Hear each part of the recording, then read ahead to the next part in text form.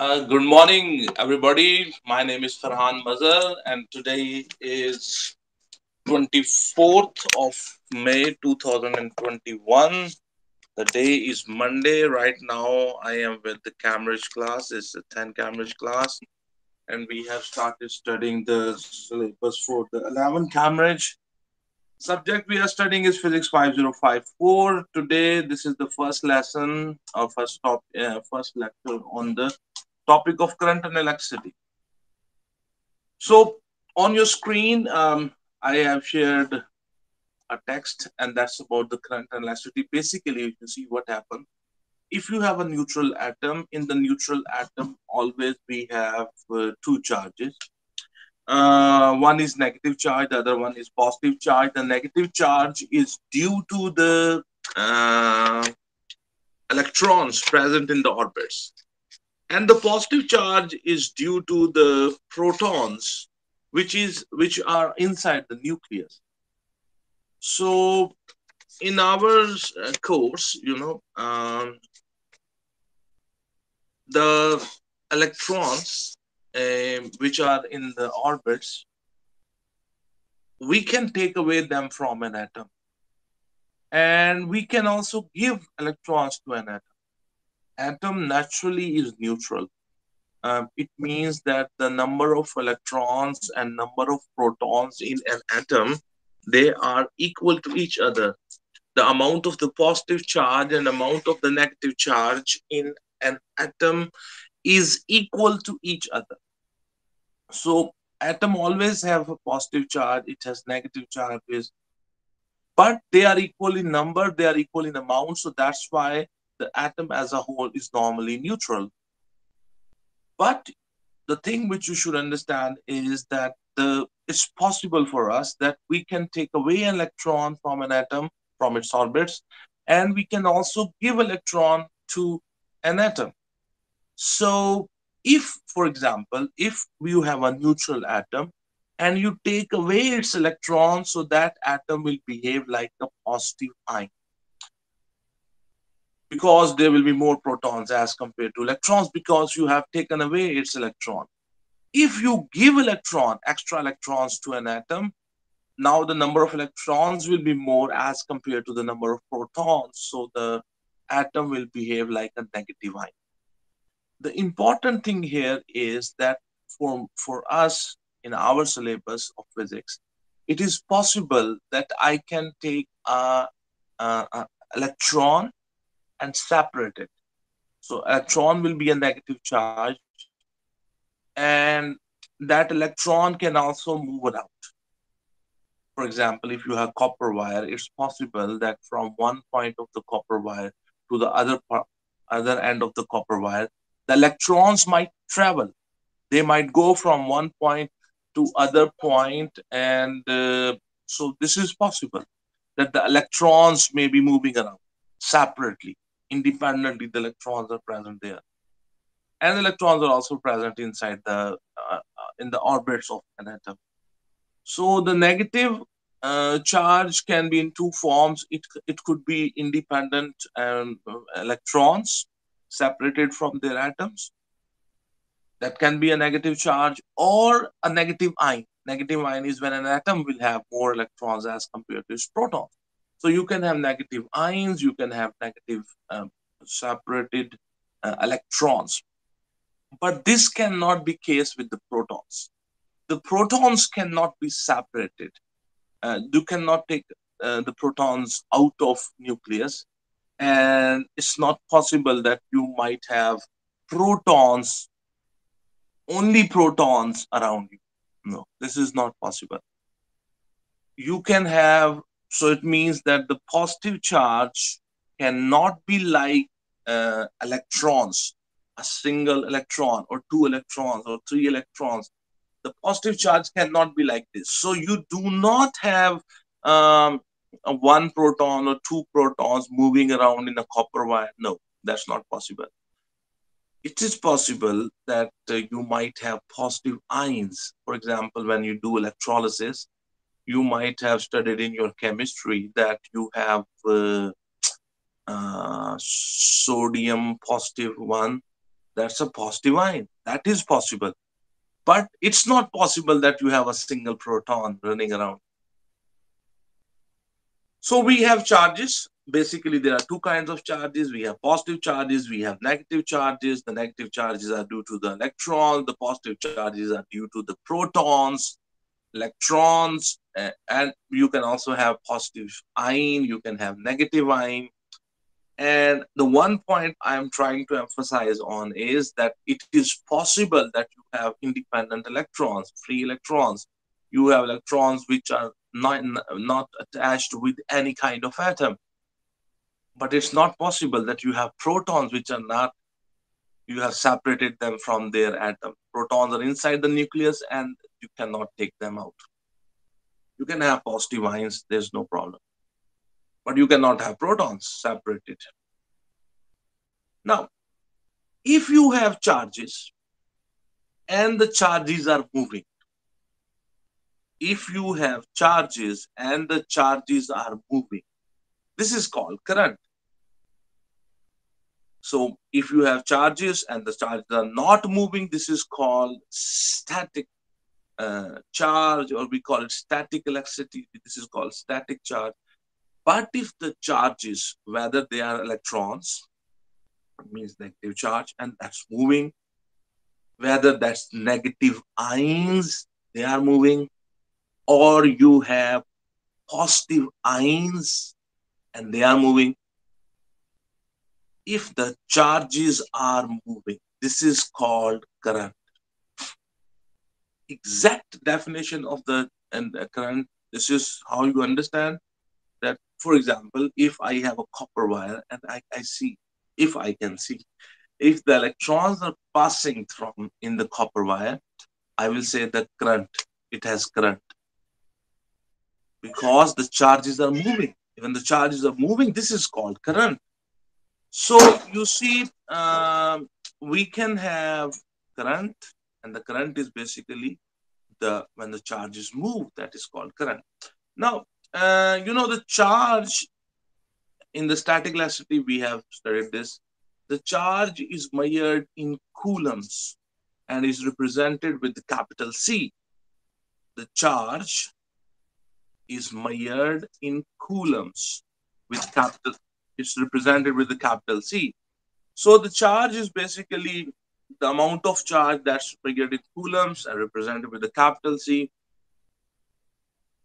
exact definition of the electric current is that amount of charge passing from a point in unit time.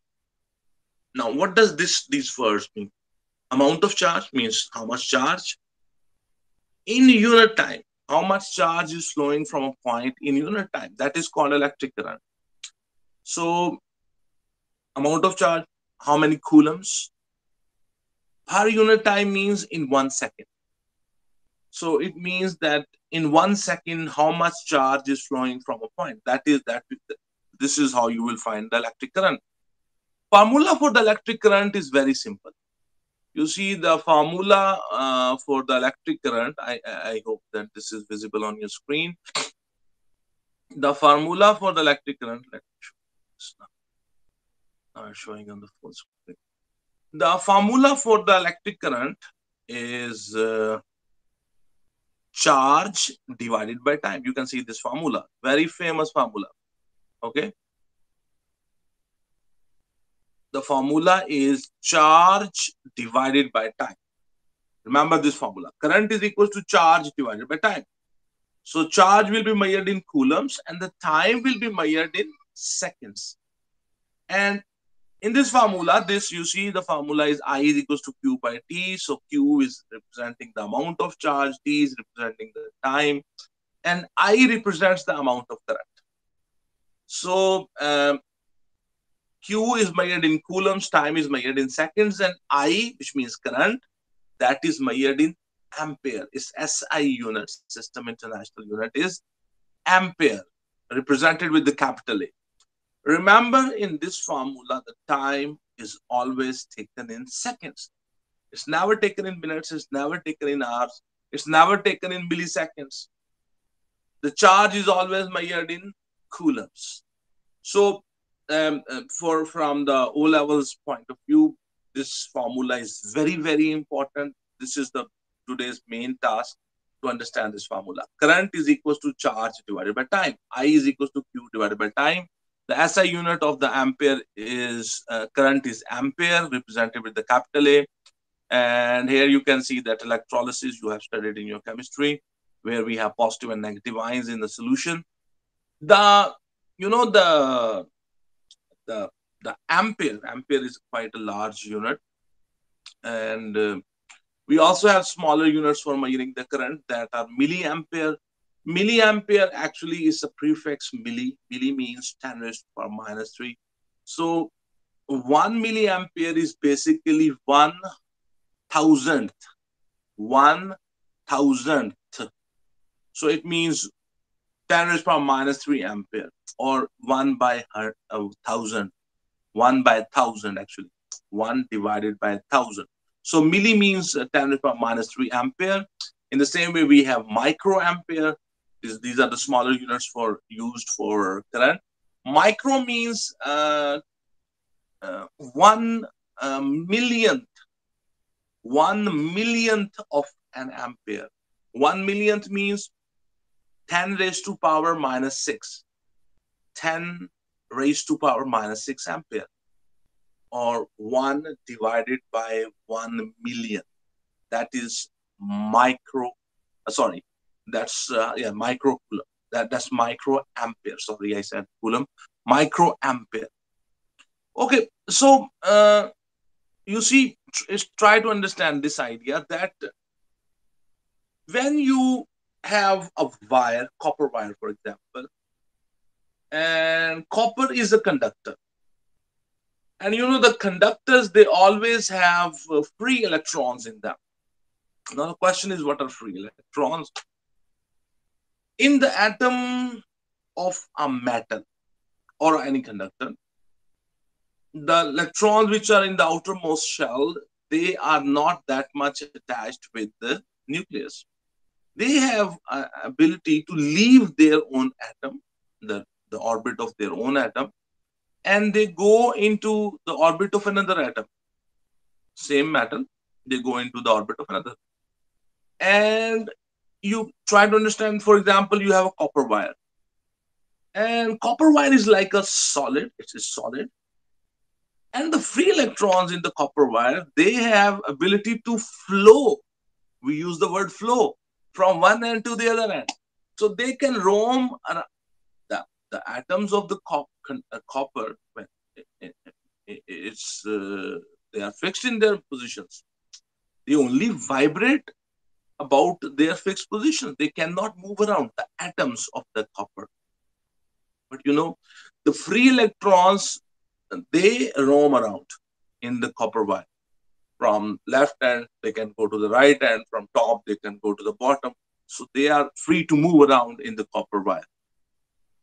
Now, how, uh, whenever you use a battery, whenever you use a battery, so that battery, what the function of that battery is basically, it will provide the energy to move those electrons in the wires or we use the word circuit. So basic function of a battery is to provide energy to the charge particles to move in the in the circuit, in the copper wires, in the in, through the fan, through the bulb, through the speaker, whatever you think you are using. So basically, the the batteries or the source of electricity, it provides basically the energy to those charged particles to move them in the circuit. Okay, so here we have on your screen, let me increase the size so I can show you an example from O levels point of view, the most important thing uh, which I have just taught you. The most important thing is this numerical. Here we have if 0.5 coulomb charge passes through a wire in 10 seconds, then what will be the value of the current flowing through the wire? So you see, uh, we have 0.5 coulomb Uh, that's the amount of charge.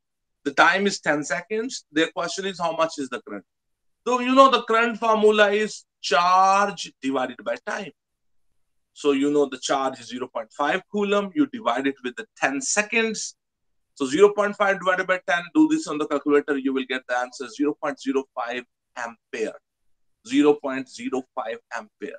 So if I multiply this 0.05 ampere with 1000, it will be converted into milliampere. So it will be 50 milliampere. If you write the answer 0.05 ampere, it's good, no problem. And if you know the uh, prefixes, you can convert this into milliamperes. If you write this answer, it will be good, no problem. So I hope you have understood this uh, numerical. And if you want to do more numerical on it, you can do that. This formula, this formula, I'm talking about this formula. From O levels physics point of view, this formula is very, very important in theory questions, in MCQs. This question, this numeric, this formula, its application, its use is tested. Now, now we come to another very important point. The current in your syllabus, the current, whenever I use the word current, and during my explanation, I told you I talked about the electrons. They are will they will be flowing in the wires. The charged particles, basically. And for current, we have two, um, two kinds of current. One is called conventional current, the other one is called electron flow. And both of them are actually the same, but little difference in them. And they happen at the same time. So wherever you will have electron flow, there you will have conventional current. Wherever you have wherever you will have conventional current, there you will have electron flow.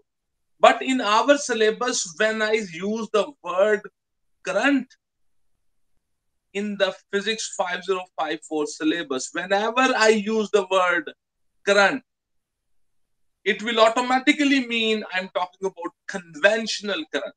So whenever the word current is used in your syllabus, it will mean conventional current. So what's conventional current?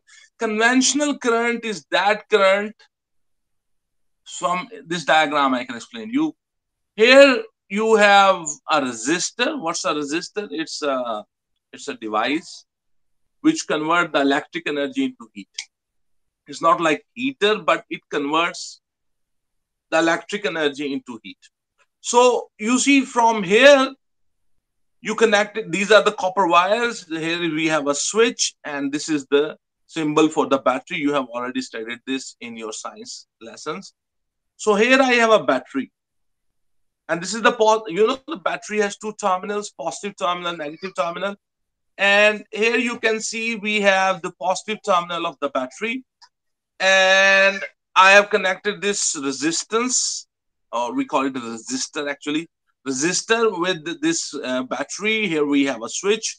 When I will, I will close this switch, I means this switch will be on. And this positive terminal so current will flow from the positive terminal of the battery through the copper wires, through the resistor, back to the negative terminal of the battery. This is called conventional current.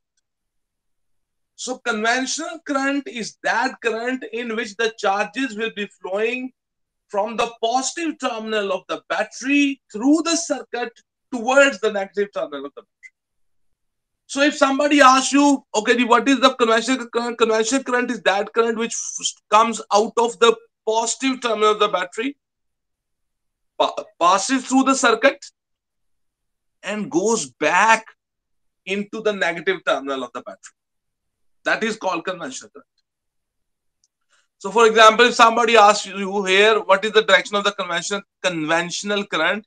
So, the conventional current here will be flowing from the from, from the left to the right.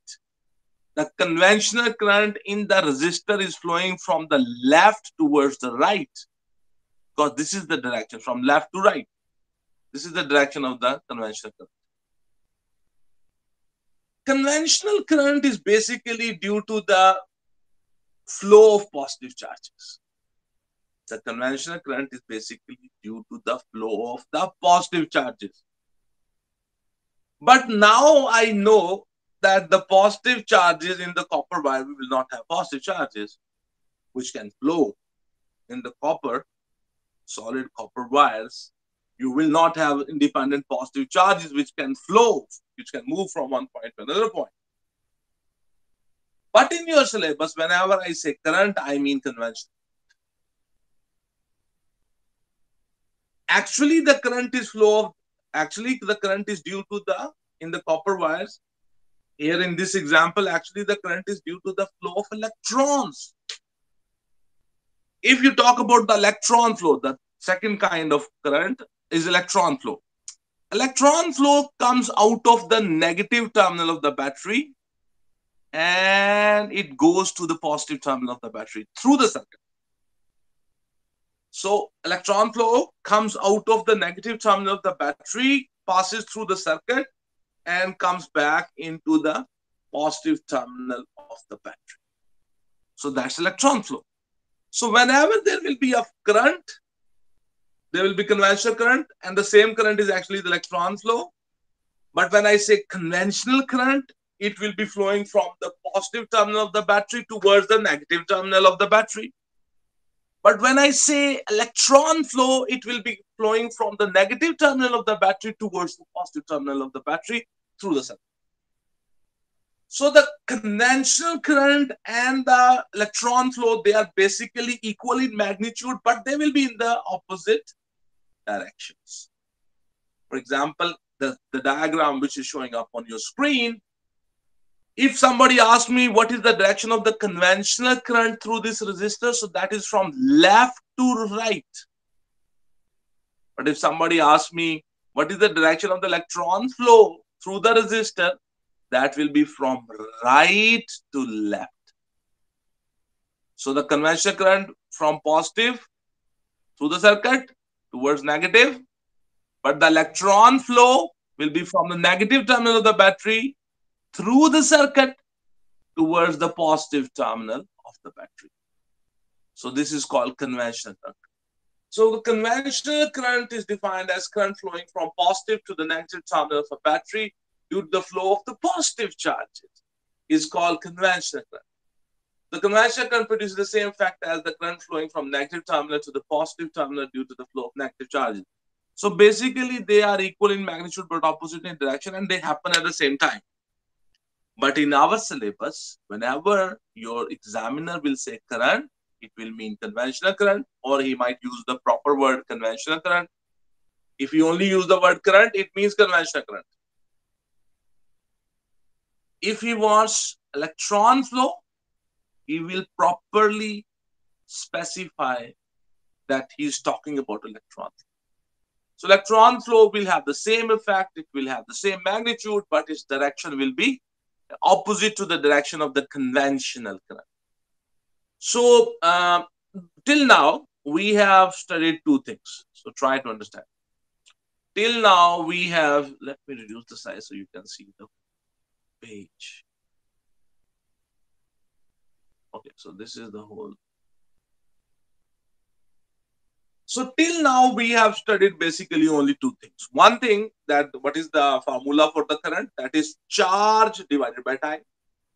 And the second thing which we have learned is that the current can be of two kinds. One is called conventional current, one is called electron flow. And the conventional current in our syllabus, the current will be always conventional means whenever he use the word current, it will automatically mean he's talking about conventional current. If he wants you to consider electron flow in your syllabus, in your exams, in your assessments, in your textbook, if he wants you to consider electron flow, he will properly mention I'm talking about electron. Okay, one very important, another very important point is that um, the the function of the battery. The battery's function is basically to provide the energy to the charges which are present in those free electrons which are present in the conductor wire the function of the battery is not to provide the charges. Its function is basically to provide the energy to the charges which are in the wires. And obviously they, they move around. How it provides energy, we will discuss it later. Uh, but today's function is basically to understand these two points and then to uh, learn how to measure the current, how you will measure the current. So if you want to measure the current, you see the very uh, important thing is that we basically use an instrument. If you want to measure the current, um, we use an instrument. That instrument is has two names. One is one instrument is called galvanometer, and the other instrument is called ammeter. So one of the instruments is called galvanometer. The other one is called uh, ammeter. So let me show you the diagram of these meters here on your screen. Um, you see, these are the two meters. So this one is called galvanometer. You can see uh, here we have in the center, we have zero. On this side, I have 10, 20, 30. Here I have 10, 20, 30. So the galvanometer's pointer basically remains in the center. Its zero is in the center. So its pointer is like in the center. The pointer can deflect to the left. It can also deflect to the right. So here, the second diagram, this is called the ammeter. So ammeter normally its zero is on the left side and and the readings go towards the right side. You can say that see the calibration, I hope. And this is, for example, it's written, I think, one, two, three, four, five. So it's measuring the thing in am, am, uh, ampere. And so these are the two instruments. This is called galvanometer. It's a center zero galvanometer. And here we have a ammeter. Ammeter and the galvanometer, they are basically used to measure the current which is flowing through at a set through a certain point or through a certain component or uh, through any resistor or through any fan or through any light bulb. On the ammeter, you can see we have two uh, here. These, these, these are for connections. So these are actually screws and you can lose them and then you can put a cable here and you can tighten them. So one uh, this one connection is of red color, the other connection is of black color. The red color is always connected with that wire which is coming from the positive terminal of the battery. And the black terminal, the black uh, connection here, this one, this is used to connect that wire which is coming from the negative terminal of the battery.